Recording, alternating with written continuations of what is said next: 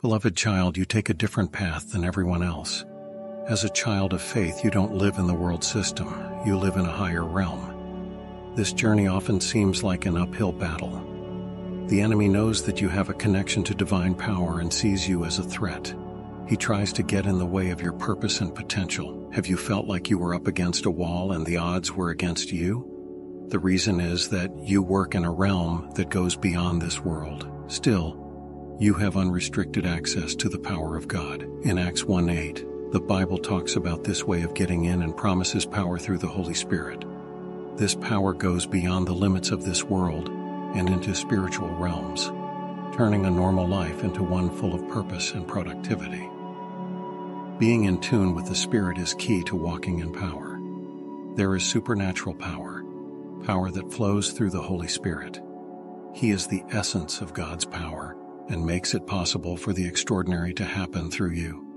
Your power comes from how deeply you connect with the Spirit, not from your titles or positions. The Spirit brings freedom, victory, and release into life.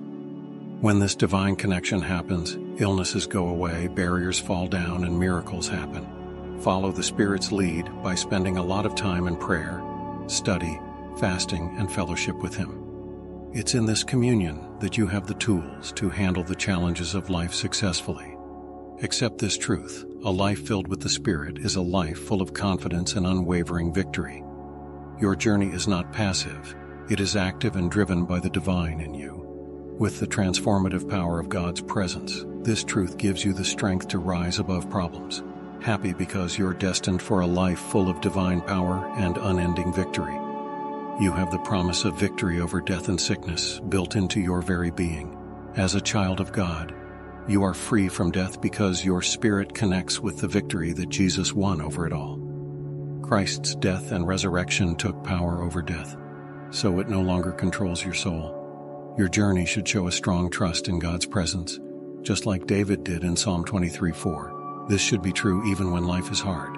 Accept this stability and know that fear has no place in your heart because Christ has given you boldness and courage. When you are sick or don't know what will happen, hold on to the truth that you are destined to win, not lose because of what Jesus Christ did.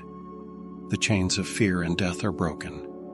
You don't live in fear of death. Instead, you know that you will spend all eternity with the Lord. Know that when your time on earth is up, it will be at the Lord's call. Enjoy each day with the joy of a heart free from fear. Your life shows that God is in charge of death and your journey is marked by His winning grace.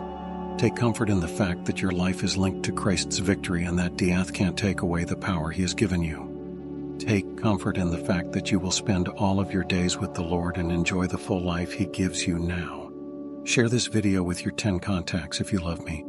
Write Amen in the comments, like this video, and subscribe to the Jesus Talk channel to stay connected with my messages.